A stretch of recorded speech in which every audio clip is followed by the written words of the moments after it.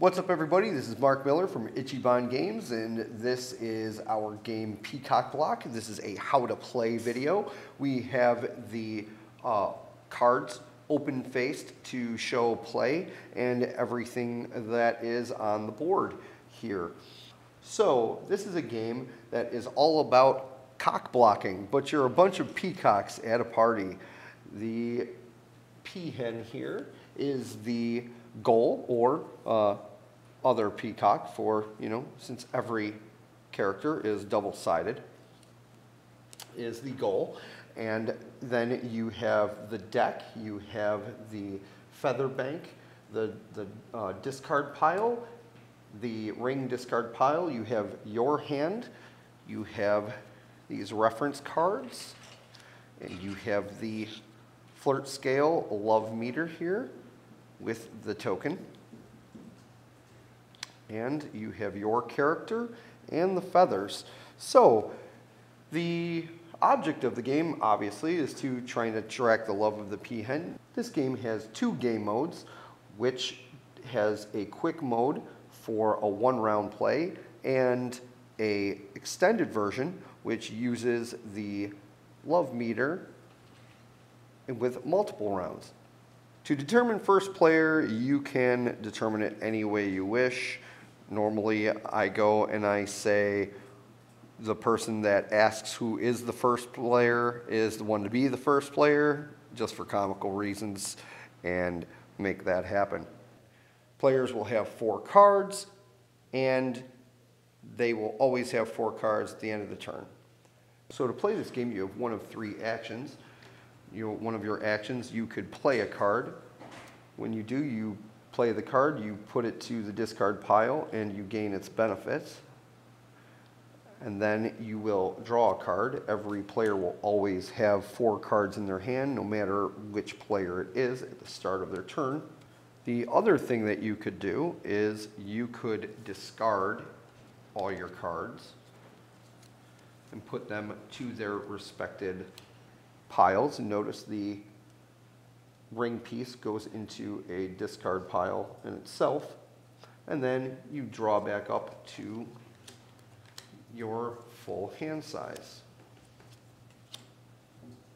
The third action you could do is you can exchange a ring piece for a ring piece. And that is your turn. First way to go and win is by flirting, which you will get 10 on your flirt scale and the player to get 10 on their flirt scale. In the quick version, one round will win the game. And with the extended version, that would end the round for the person that gets 10 on their scale would get one point for winning the round. And then for every feather on their peacock would get an additional point. And then everything would reset that round for the next round, all feathers would go back to five feathers. This flirt scale goes down to zero. The love meter, however, does not for the extended game.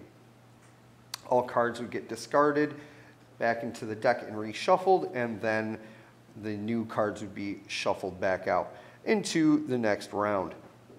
The other way to win is by getting 10 feathers on your peacock and the other way to win is by getting all three pieces of the ring and laying them down all at the same time. So that's the three win conditions.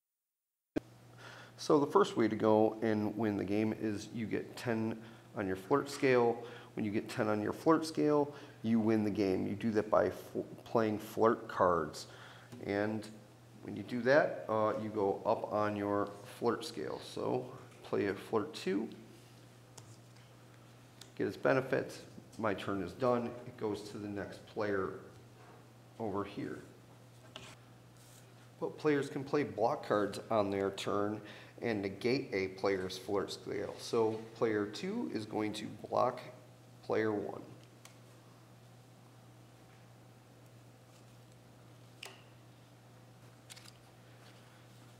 Flirts will come in flirt one, flirt two, and flirt three.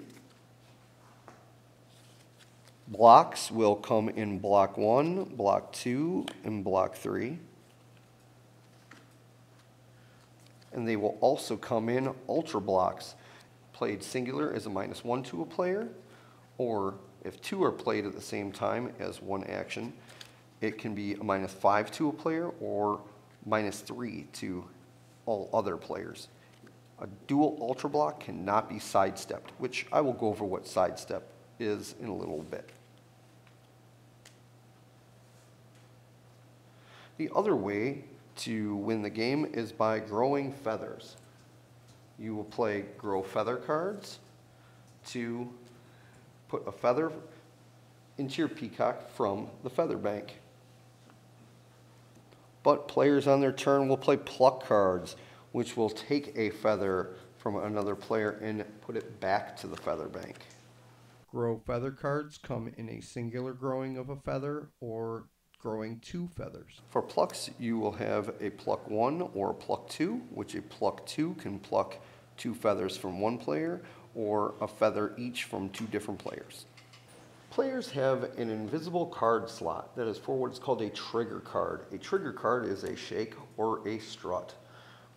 When a player plays a shake or a strut, they will put that in front of them in their trigger card slot.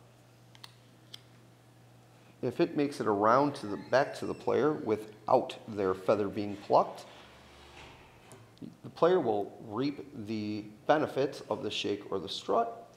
It goes to the discard pile, and then they will be able to play a card from their hand. That slot is backed open, so another trigger card slot can be put in there. Remember, only one trigger card can be put into that slot. So a trigger card is a shake, which will be able to have a player get three points and minus somebody by one, or a strut, which a player can play two additional actions on their turn. If an opponent player plucks a shake or a strut, it will go into the discard pile. And if it was a shake, in play, it minuses the player by one because they were in the process of shaking. They also lose their feather. Player two plays a card against player one called Rufflesome Feathers. This card allows player two to blindly draw a card from player one and immediately play it if they wish or if they can. Player two blindly takes a card from player one, and they can play that card immediately if they wish, which player two gets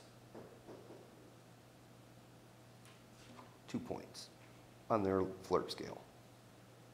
Players will draw back up to their maximum hand size. It is possible for player two to play the Rufflesome Feathers, blindly draw the Ultra Block, from player one, take as their action to combo it with the second ultra block to use as one action. This can also be done with the ring.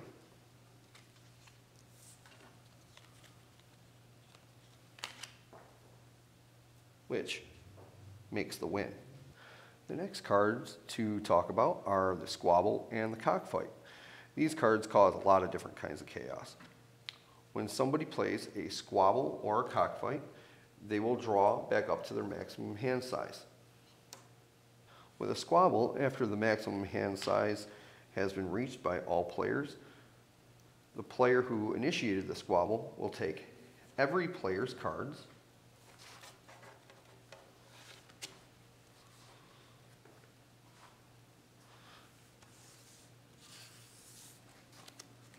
look at them.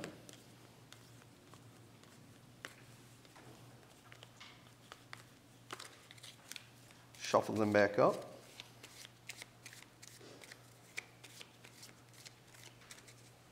And redistribute.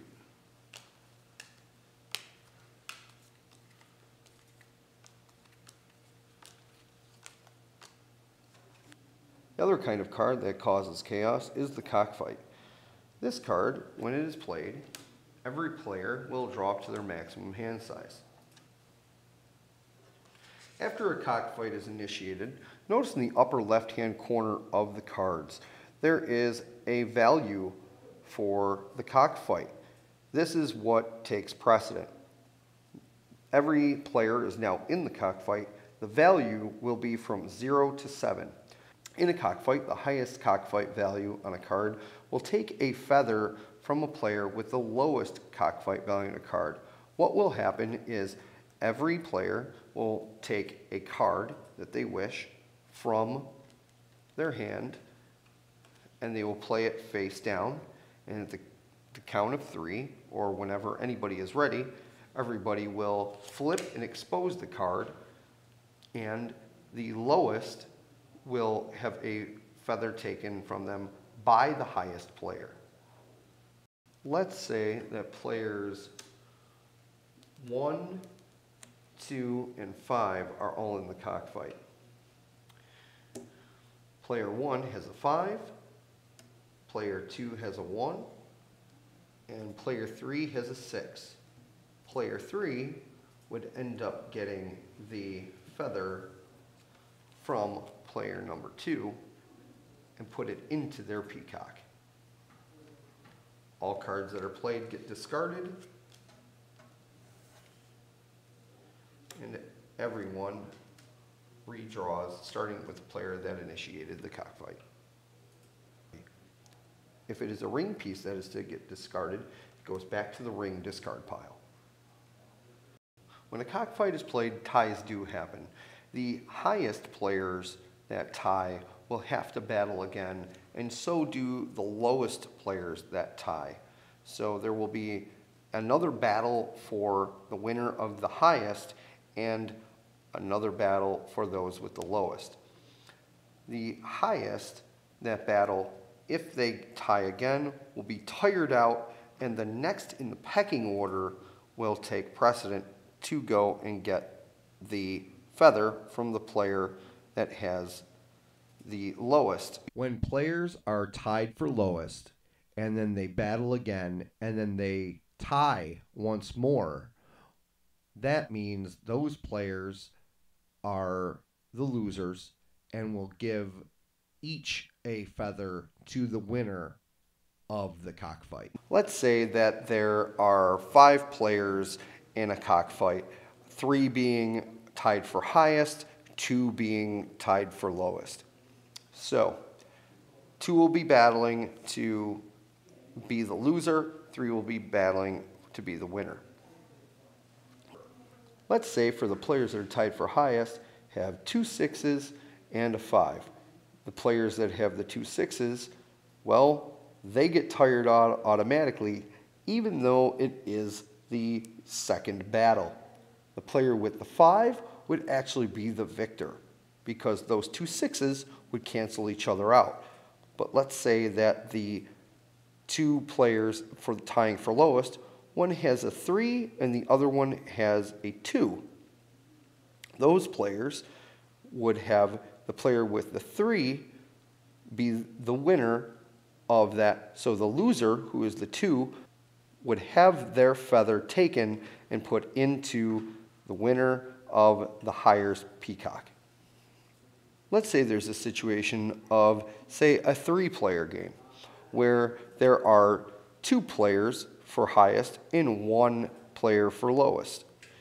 Well, the two players, let's say they both have fives and they tie for the second time. Well, what happens is the lowest will not have anything happen to them at all.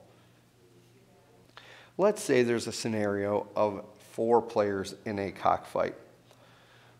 Let's say that the higher players tie with two fives, and the lower players had tied with two threes.